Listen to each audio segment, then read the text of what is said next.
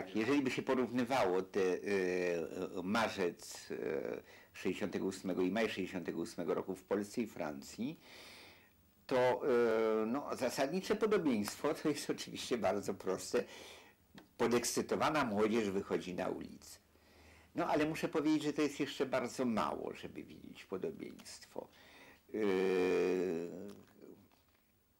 Nie zajmuję się astrologią, ale kto wie, może tak bywa, że może, mówię oczywiście żartobliwie, że układy gwiezdne powodują, że w pewnym momencie w różnych e, miastach globu młodzi ludzie wychodzą na ulicę, więc na tym, na tym się nie znam, e, trudno mi powiedzieć, ale e, to jeszcze jest za mało, żeby mówić, żeby utożsamiać te ruchy.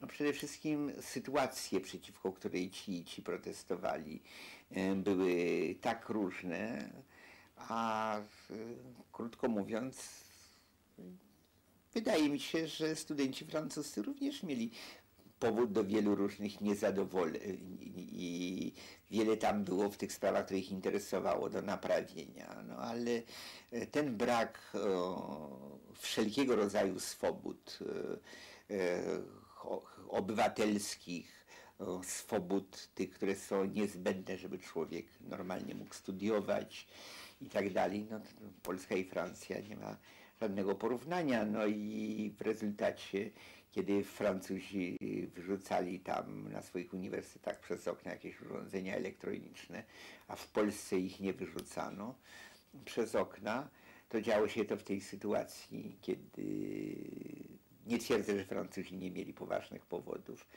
ale te powody były tak nieporównanie poważniejsze w Polsce, że tym ciekawsze jest, że nie demolowano przy tym no, pomocy naukowych.